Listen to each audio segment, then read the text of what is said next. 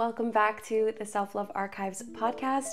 My name is Julia Salvia, and I am your host, your brand new bestie. Or if you've been here, I am your bestie. We're besties already. It's been a thing already. We have a thing already. I'm your big sister, the big sister that you've always needed, and I'm your self love guide. Whichever one of those three or more that you need most, I am here for you. Today, we're gonna be having a conversation that's really giving big sister energy. I am the oldest in my family, so I have never had a big sister. I am the big sister. I like to think of our big sisters, our cousins, our parents, the people that surround us that are older than us, that have more experience in living life. Less of this authority and more of this guide in our life. Our parents, our big sisters, our older cousins, they're here to guide us on the right track. They're here to guide us to be the best version of ourselves, to be the best woman that we can be. And I'm hoping that I can be that for you today. Today's episode holds a special place in my heart because I didn't have that guide growing up. I didn't have that big sister or that person that was guiding me in the right direction, especially in regards to my health my hormone cycles as a woman. I wish I knew how to take better care of myself as a woman. I wish I was much more familiar with my body as a woman. I wish that I had all of this knowledge that I have today so that I could make choices for myself and my body because I want to make those choices, not because I felt like I had to make those choices. We're going to be talking about hormone cycles, cycle syncing, and how to take care of yourself as a woman. These topics and this conversation today is not just for women. This conversation, this education, this knowledge is for everyone. We are able to love ourselves more when we are knowledgeable about the bodies that we are in. When we are able and knowing of the love that we need to give to our bodies. And that's our whole bodies. That's our physical body, our emotional body, our mindful body, our soul, all of the above. There are so many things that we either didn't know, was given the wrong information about, or need to feel shamed about. We can blame no one but the system that we live in and how it wasn't built for women in the first place. But what we can do now is learn and do better for ourselves, our bodies, and all women. As we jump into all of these topics, I want to make it very clear that I am not a doctor. This is just my experience, my opinions, and from the research that I have personally done and the work that I have done on myself as a woman. When I refer to men and women in this podcast episode, I am referring to a biological man and a biological woman for the sake of talking about biological things like our hormone cycles.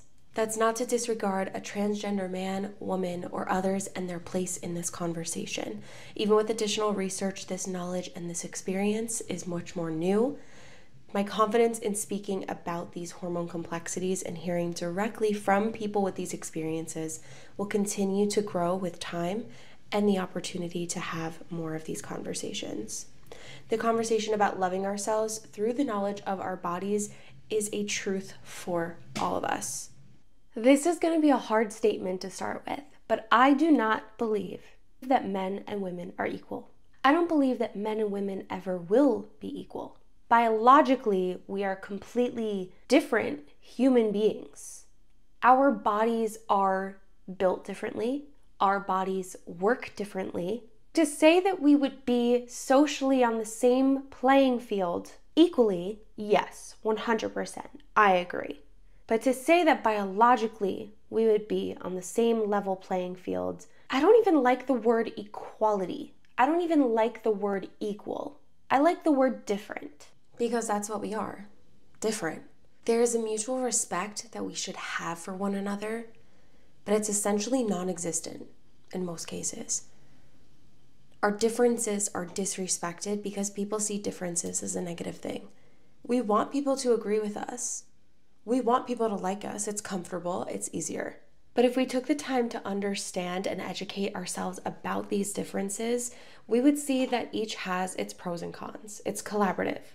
It's like being in a work project with someone.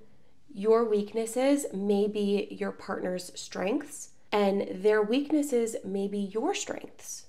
At the end of the day, most conflict and miscommunication comes from a lack of understanding or a lack of knowledge. And I really believe that we have both. In this patriarchal society, we are living in the favor of a man's biology. Our education on a man's biology is more advanced and more studied than a woman's biology.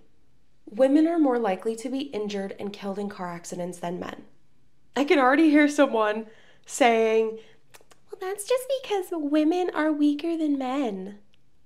No, because if we do a little bit more digging, the University of Virginia found that women are 73% more likely to be seriously injured in a car crash than men, even when both are wearing seatbelts. How about if I told you that most of the testing, if not all of the crash testing that car companies do, is with a male test dummy? And those that have a quote unquote female test dummy isn't even actually built like a female, it's just a smaller version of a male crash test dummy. This is just one of so many examples where the consideration of how different and more complex women's bodies are is secondary to that of a man's. The same secondary consideration happens even with medical testing and clinical trials, resulting in women having more side effects and incorrect dosages. A woman's hormones fluctuate throughout not only different parts of their cycle, but throughout different parts of their life, like while pregnant or when experiencing menopause. Our cycles as women greatly influences how a drug is metabolized in our body. So my question is, are we cutting corners? Are these huge companies cutting corners in their testing because it's easier to test on men because their cycles are more predictable? The lack of consideration for a woman's body and how different it really is biologically in comparison to that of a man's is insane to me. So, the lack of consideration, the lack of knowledge, the lack of teaching on a woman's body in this patriarchal world is it surprising? Not really. Is it sad? Extremely. Disappointing? Extremely. So, it's time to take our bodies, our lives into our own hands. Knowledge is power. That saying has so much truth within it. Knowledge has power. I've dived into so many rabbit holes about hormone cycles and cycle syncing and taking care of our bodies. And this one came as a huge shock to me. Did you know that the male hormone cycle is only about 24 hours long? Whereas the female hormone cycle averages about 28 days long. That's a big difference. That means in one year, a man is experiencing a hormone cycle 365 times a year, whereas women are experiencing a hormone cycle averaging about 12 times a year. So of course, we knew that men can't create a human, but women can. But to think about how a man's cycle is just quick, 24 hours, but a woman's cycle takes a lot longer to ebb and flow. As an astrology girly, I absolutely loved this when I saw it. In Mexico, out in the mountains in the country area, the men and women's bathrooms. On the men's bathroom, there's a sun, and on the women's bathroom, there's a moon. Our cycles are very similar to that of the moon and the sun. A man's cycle is very similar to the sun in that it rises and sets every 24 hours. And a women's cycle is very similar to that of a moon, where it fills and wanes on a 28 day cycle. In astrology, we compare the feminine to the moon and the masculine to the sun.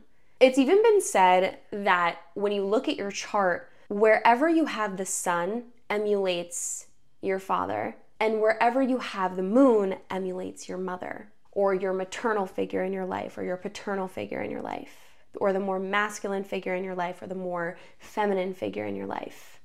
With these differences in hormone cycles between men and women, not only with the length differences of each cycle, but so many other things like the amount of hormones, how it ebbs and flows. You can then go on to think about how our worlds, this patriarchal world that we live in, isn't set up for women.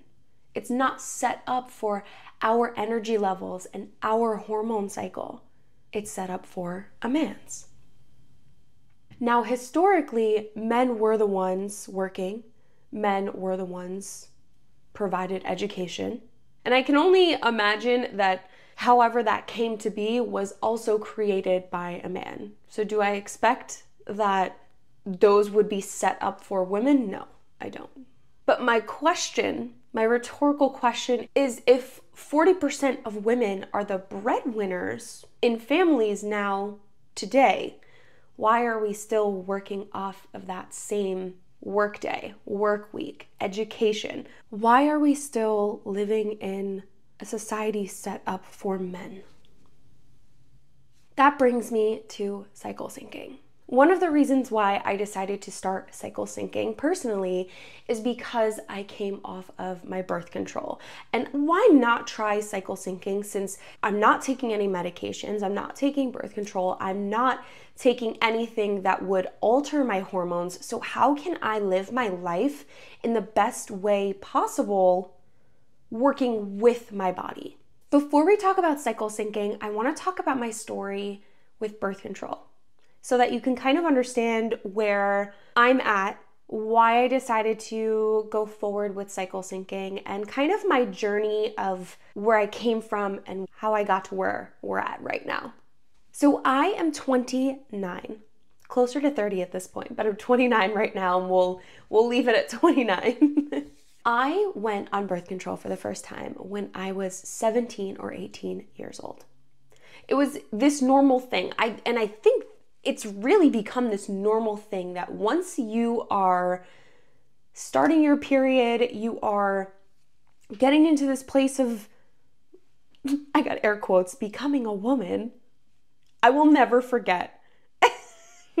I will never forget sitting at my dinner table, and I have two sisters. So I have two sisters and a brother, and I will never forget sitting at my dinner table. I was 12, and my period had come for the first time. And I don't think I've ever, I think I've definitely told this story before, but I was 12. My period had come for the first time, and I remember it was this church's picnic, and I was working the dunk tank. Don't don't even ask. It was that was a really long time ago, okay? And I didn't know anything. I didn't know any better. So I got my period for the first time the day of that little picnic. And I remember sitting at the dinner table that week and my dad announcing to the whole entire table. Mind you, I'm the oldest. If I'm 12, my brother's 11, my sister's like 8, and my little little sister is 2. So it's my two sisters, my brother, my mom, and my dad. And my dad announces to the whole table that Julia has become a woman. and how embarrassing. and it, it, it gets worse because he did it for my sisters too. But once I turned 17 or 18, it was kind of like this no brainer or this regular schmegular thing that we as teenagers would just go on birth control. And knowing what I know now about birth control and about my body, that is absolutely insane to me. So I was on microgestin for a couple of years before I moved to Connecticut. And when I moved to Connecticut, you switch your pharmacy, and that pharmacy started giving me a different birth control. They told me that it was perfectly fine, that it was the exact same dosage, it was the exact same thing, and I trusted them, even though the package was completely different. Everything about it was different. The pills looked different, the name was different the information was different. I trusted their verbal language that it was exactly the same. And I started taking that birth control and I felt weird. I didn't feel like myself for about a month or two taking that birth control. So I immediately went back to my doctor and the pharmacy and I was like, please change it back to the exact same birth control, microgestin. I want it to be the same packaging, the same product, the same exact thing that I've been taking for years because I really had no issue with taking birth control. At this point, I had been on birth control for, I would say, about six or seven years. And I was actually on birth control for my skin not really to prevent pregnancy or to help with cramps or anything like that. I was on birth control for my skin because I would get really bad cystic acne. I'd gone on spironolactone, which is another hormonal medication, and that was the priority as to why I was on birth control. So, fast forward a couple of years, it's now 2020 and I'm still on the same birth control, but all of a sudden my skin starts to break out so badly. I'm talking like horrible cystic acne on my cheeks, on my chin. It was painful, it would scar, it was horrible. And at the same time that I was getting the cystic acne, I also had just gotten Invisalign. So I just felt like it was a flashback to me as a 13 year old girl who just got her period, who is getting acne on her face. Like, I'm reliving my teenage years. So, what did I do? The only thing that I really knew to do, which is go to my doctor and ask them what what are my options. I actually went to a dermatologist first, and this dermatologist gave me three options spironolactone, the same medication I had been on before, a hormonal medication, change my birth control, which is a hormonal medication, or go on Accutane, which is another hormonal medication. Not a single option that this dermatologist gave me had anything to do with a change in diet or there was no option that didn't have to do with a medication and even more so a medication that wasn't hormone based. And I asked, so I felt really defeated leaving the dermatologist. I ended up calling my gynecologist, hoping that she would give me better news. But unfortunately, her options were also the same, and she ended up suggesting that I switch over to the generic version of Yaz. I was on this generic version of Yaz for about a year, and within that year, I felt fucking crazy. I am not generally a mean person.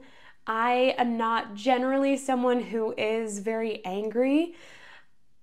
And that entire year that I was taking Yaz, while my acne did start to slowly disappear, I was mad. I was angry at everything. I felt so out of body. It, I just really did not feel like myself. So, when I started to feel these concerns a couple of months into taking Yaz and nothing else in my life had changed, my diet was the same, my activity was the same, my stress levels were the same, my job was the same, everything in my life was the same. But all of a sudden, three months into taking this new birth control, maybe even four months, I started to get really sick. I was sick so much that year.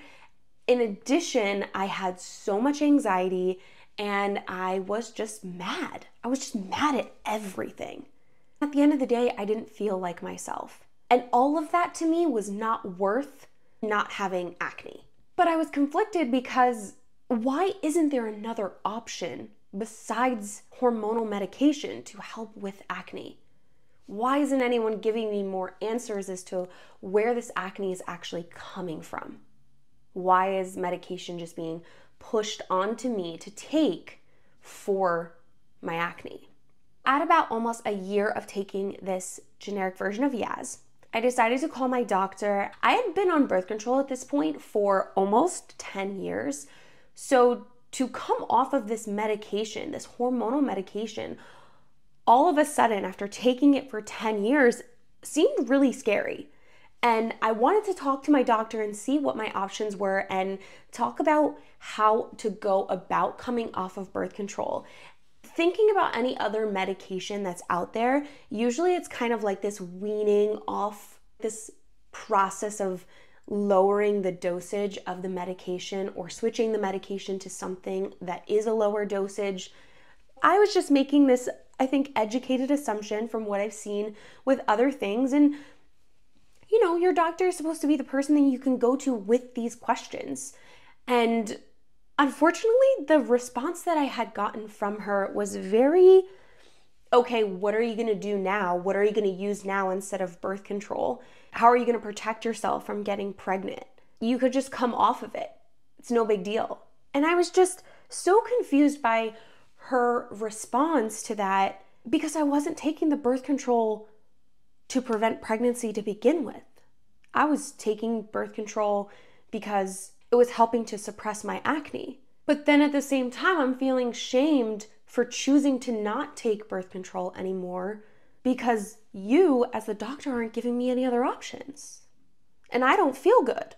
I don't feel like myself. And even to that, she had other things to say. So I decided to take my health into my own hands and come off of birth control, stop seeing that gynecologist, and do more research and learn more things about my body. It wasn't until about a year ago that I learned that Yaz was discontinued.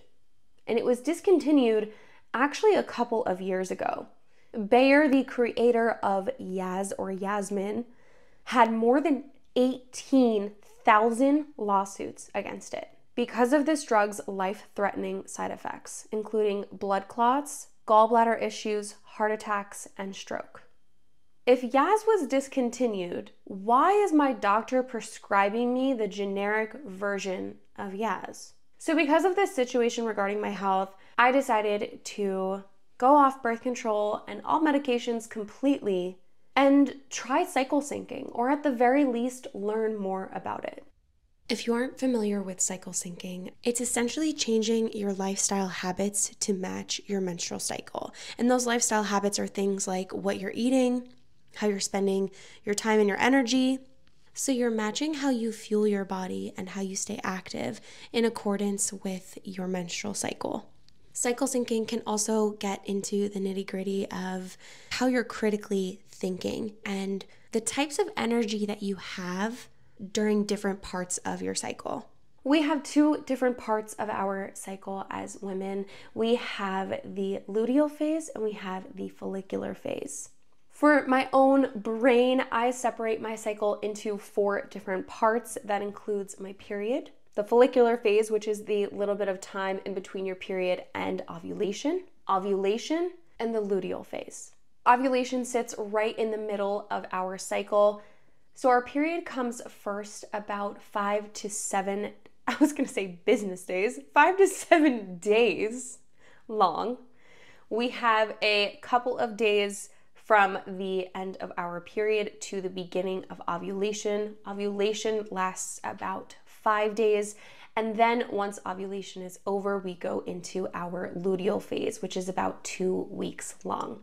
This is how I personally set up my cycle just so I can really see it visually a lot better. But our period begins the follicular phase and ovulation ends our follicular phase. We then go into our luteal phase. I love this way to describe our cycle. This was the first way that I learned all the different parts of the cycle because I think it can be really overwhelming. Our period is like winter. So during winter, we want to cozy up, we want comfort food, we don't really want to go do too much activity. We want to take care of our bodies. And during our period, our bodies do need a little bit more calorie intake. So it's like the perfect winter, if you will. That part of the follicular phase in between the period and ovulation is spring estrogen is rising and we are starting to gain a lot more energy. It's like it's like how you feel in spring. You're starting to go outside a lot more. You want to actually go for your walk. You're maybe eating a little bit lighter foods. And then we go to ovulation, and ovulation is summer. Summer is where we're really getting our party on. We are fueling our bodies with lighter foods. And this is where we can take the most amount of exercise, where we are going to have the most energy to do things. And then we go into our luteal phase, which is the longest part of our cycle. If you're looking at it like me in the four different sections. And this is fall. Our energy levels are going to start to decrease. We're going to want to chill a little bit more. We're going to want to eat a little bit more. We're going to want to fuel our bodies a little bit more. I love looking at the phases of our cycle in this way because it just makes so much sense and it really puts into perspective where our bodies are at and what our bodies need. In the same way that we would look at the seasons. So, after coming off of birth control, I had this opportunity to learn more about my body. And as I learned more about my body and my knowledge grew, especially about my cycle through cycle syncing, I understood how much we didn't learn as kids about our bodies and how much I remember sitting in those sex ed classrooms and CCD classes where my body as a woman was shamed, where my body felt as though it was only meant to reproduce. It was very interesting to learn that birth control essentially mimics pregnancy. Estrogen and progesterone are at their highest when a woman is pregnant. Birth control is one or both of those hormones synthetically created. So there are 21 days of pills where we are taking in estrogen and progesterone into our bodies to mimic pregnancy so that we don't ovulate, so that we don't get pregnant. And then we have this breakthrough, which is known as a breakthrough bleed, which mimics our period.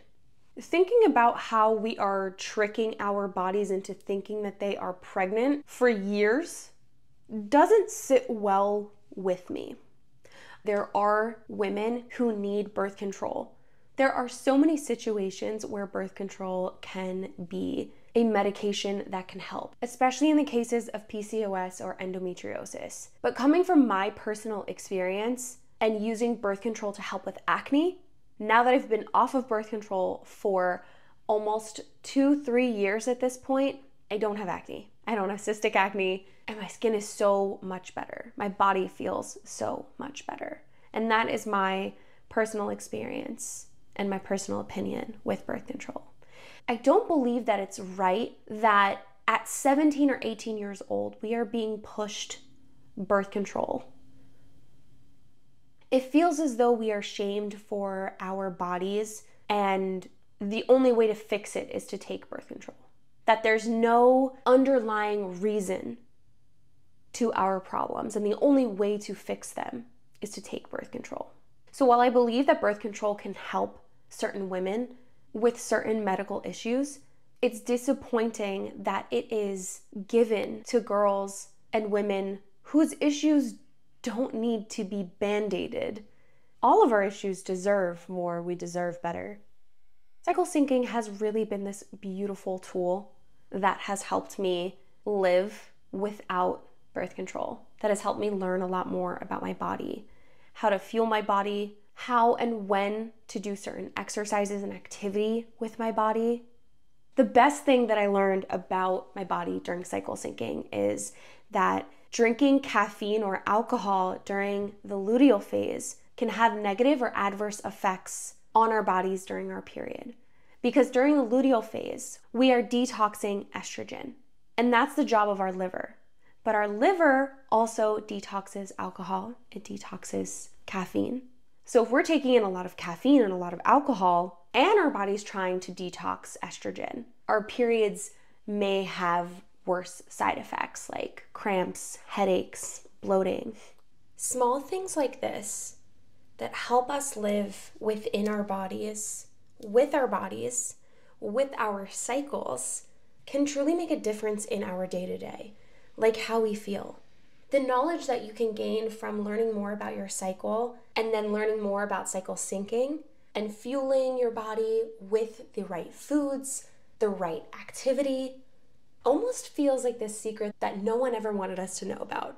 So I started cycle syncing by not completely engulfing myself into it, but by learning more about it, by learning more about my cycle, because I was coming from a place where I knew very little about it. And by doing what I can to incorporate small pieces of cycle syncing into my life, like maybe watching my caffeine in my luteal phase or watching the consumption of alcohol in my luteal phase so that my period is a lot easier to handle. So I'm not getting as many cramps or headaches. There's no perfect way to do cycle syncing. It's incorporating these recommendations and understanding more about your body so that you know how to fuel your body better, like having more vitamin C at a certain time during your cycle or eating more leafy greens during a certain time during your cycle because that's going to help fuel your body better. That's going to help give you the nutrients that you need for those different parts of your cycle. It's not about doing all of these things perfectly. That's never the goal. The hope is that by cycle syncing, you'll learn more about your body, learn more about your what your body needs for you. I want to continue talking about cycle syncing and our womanhood and our bodies and how to live within our bodies in the best and most healthiest way. I want to help provide you with more knowledge about the things that you deserve to have knowledge on. The two books that I want to leave you with that I think are the best place to start are Hormone Intelligence and In the FLO. Both of these books are going to be linked in the show notes. And we're going to be talking a little bit more about this subject in the coming couple of weeks. I want to get someone who is really, really knowledgeable on this subject on the podcast so that we can chat together and learn a lot more about ourselves and our bodies. If you are cycle syncing like myself, happy cycle syncing. Don't be too hard on yourself about it. You don't have to cycle sync perfectly, but if you can do one thing that's better for your body, whether that's through fueling your body, providing your body with activity during certain parts of your cycle, that is more than enough. Sending you so much love. Thank you so much for hanging out with me and learning a little bit more about my journey as a woman, about cycle syncing, and I can't wait to chat more about this. I hope you have a wonderful week, and I will talk to you guys super soon. Love you. Bye.